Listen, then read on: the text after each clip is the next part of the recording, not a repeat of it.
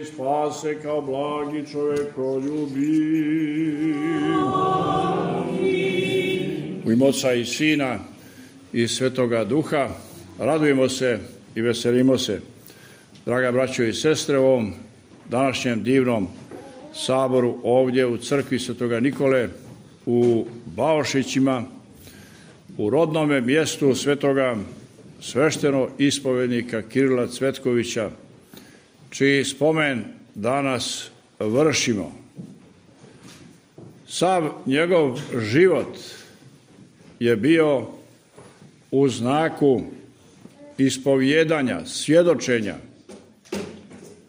svete pravoslavne vjere od njegove najranije mladosti on je krenuo za Hristom mlad se zamonašio u manastiru Savini a potom i sveštene činove primio đakonski i sveštenički i naravno obrazovao se koliko je to bilo moguće u tom vremenu. Kasnije je postao službenik u eparhiji Dalmatinskoj, kada su, nažalost, duvali vjetrovi unijačenja,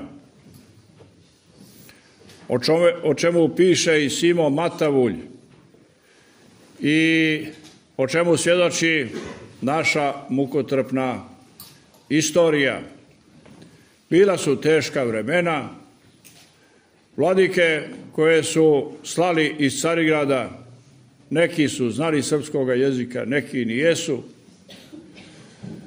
neki su bili dobri, ali Bog me Mnogi od njih nisu ostavili lijepu uspomenu iz našega naroda. Poslije ukidanja Pećke patrijaršije mi smo doživjeli velike krize. Pećka patrijaršija ukinuta 1766. godine i sve zemlje ispod Save i Dunova otpale su pod jurisdikciju Cargarske patrijaršije treba napomenuti jedino crnogorski mitropoliti nijesu priznali tu odluku, nego su se uz pomoć Rusije održali. I oni kao srpski episkopi, srpski mitropoliti bili su svijeća Pećke patrijaršije, naše svete srpske pravoslavne crkve.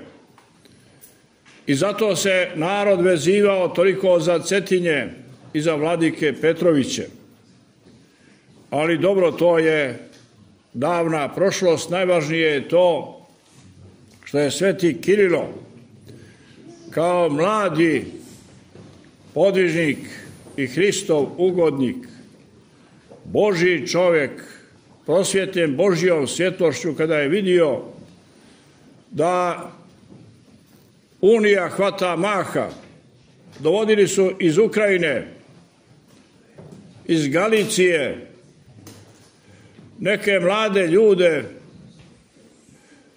koji nemaju brade pa sačekaju malo, pošto Srbi nijesu navikli da vide bezbradoga sveštenika, dok mu poraste brada pa onda ga puštaju u narod kao pravoslavnog sveštenika, ali zapravo on ima ulogu samo da privede naš narod u Uniju, pa poslije toga u katoličanstvo. Naš narod to nije volio. Da ne objašnjavamo sad, da ne ulazimo u sve teološke rasprave, prosto to naš narod nije želio, niti je volio, niti naši kaluđeri po manastirima, niti sveštenici po parohijama, a posebno ne narod. I naravno, Sveti Kirilo kao mlad čovjek, veoma energičan, od Boga prosvjećen, suprostavio se. Istorija svjedoči o tome da je tadašnji episkop Benedikt Kraljević, koga su poslali Grci u ove krajeve, bio veoma sklon Uniji. Neki kažu primio Uniju, neki kažu nije primio na kraju, iako je primio, odrekao se. Ipak se upokojio kao pravoslavni, ali je bio u svoje vrijeme sklon unijačenju i zato je sveti Kirilo ustao neustrašivo i naravno stao na stranu naroda i narod i tadašnji krčki kaluđeri i sveštenici u Dalmaciji odbranili su pravoslavlje. Vidimo koliko je naš narod pretrpio pritiska, koliko je našem narodu bilo važno da očuva pravoslavlje. To se vidi po ovome svetome hramu koji je podignut podavno, a ukrašavan u vrijeme Austrugarske monarhije. Pogledajte kako izgleda ovaj ikonostas. Da ga danas neko radi, vredio bi jedne lijepe kuće.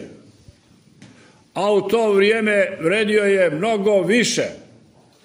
Evo, kao što i piše ovdje, Joko Crnogorčević kapetan je priložio ovome hramu.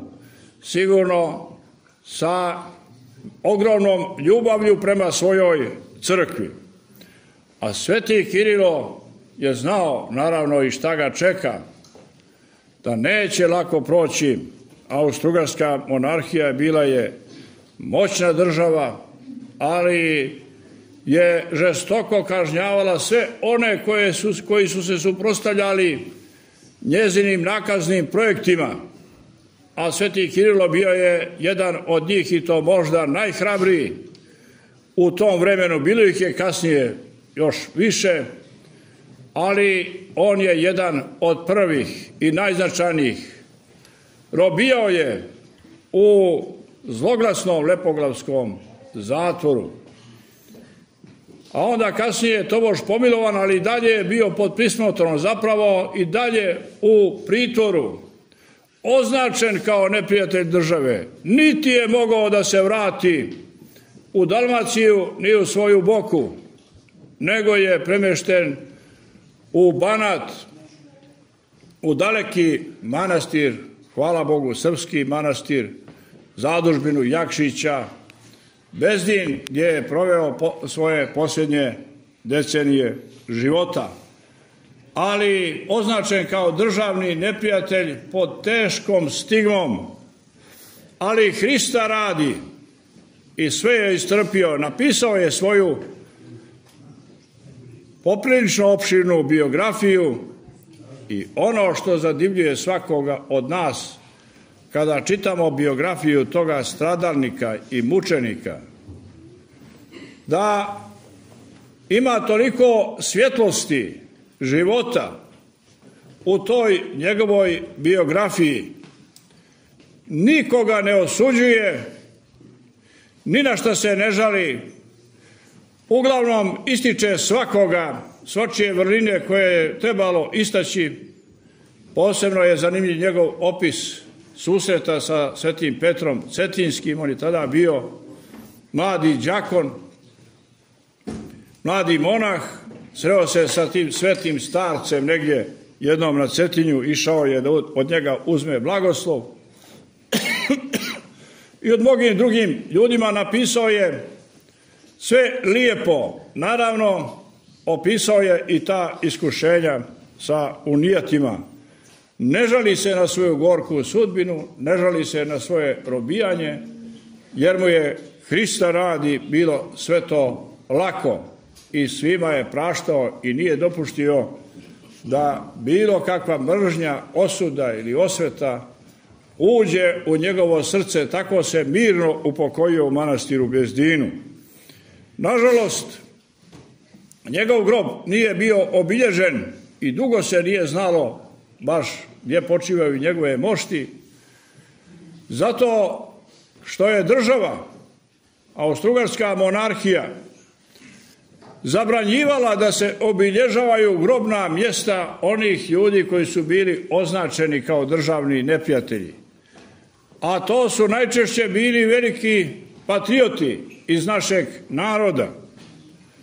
Međutim, neki monah je ipak zapisao, odredio tačno koordinate gdje se nalazi njegov grob i skoro su na to mjesto zakopali kad su našli taj zapis i našli su njegove mučeničke kosti u manastiru Bezdinu i on je tamo izloženi, poštuje se kao sveti. Naša sveta crkva tako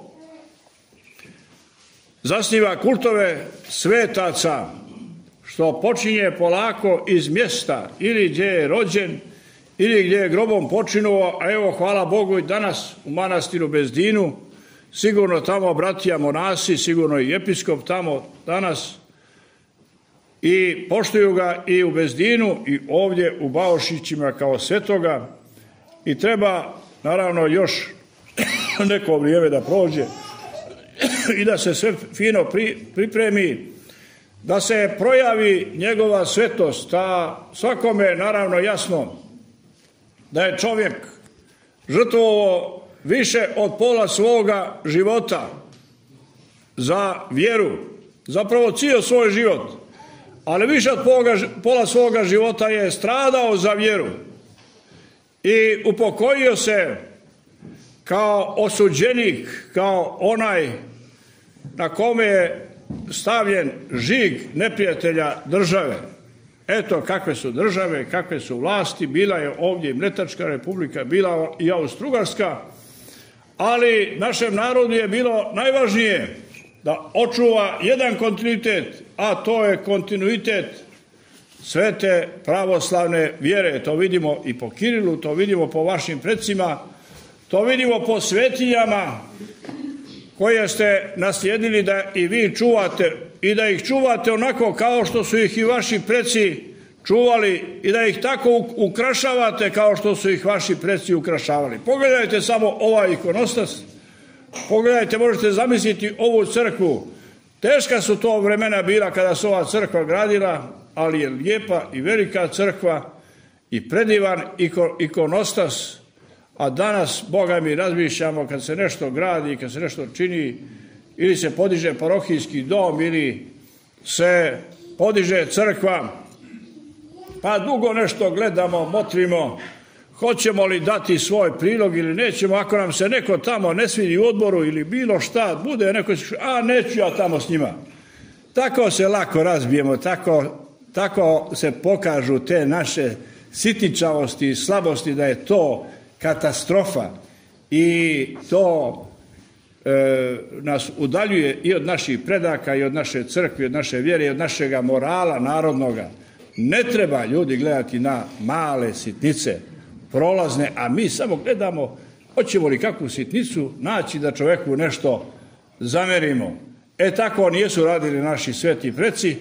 Pogledajte kako se žrtvovao sveti Kirilo za vjeru, Pogledajte kako su vaši preci svoju crkvu ljubili i kako nijesu žalili ni truda, ni novca, ni zaveštanja da nešto učine za svoj vječni pomen. Draga braći i sestre, ovo je danas veliki dan, velika radost.